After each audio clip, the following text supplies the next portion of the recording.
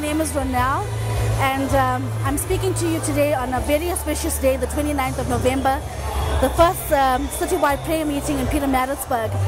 Firstly, we kicked off with a lot of attack throughout the way for this mission and for this prayer. Um, we couldn't get a hall, we couldn't get a date, and God came through miraculously in that we got the city hall free of charge.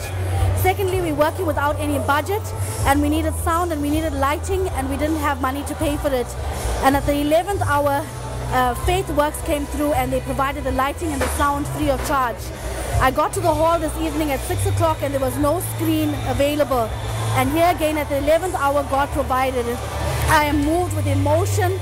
I am so grateful to God because He's told me that a movement is going to start this evening and He has come through in such a mighty way.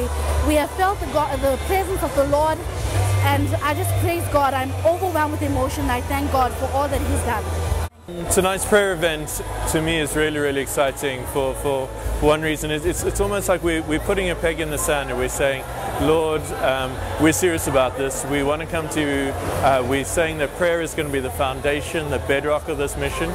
And really, we can't do anything without God. Uh, to me, the most exciting part was when Pastor Como got people from each race group together up on the stage and said, We are one in Christ. You know, we can't do this if we're divided because we've got to come together. We've got to be the body of Christ in this city to show the love. We've got to love one another. And that is really what's going to bring people to Jesus. That's what's going to change the city.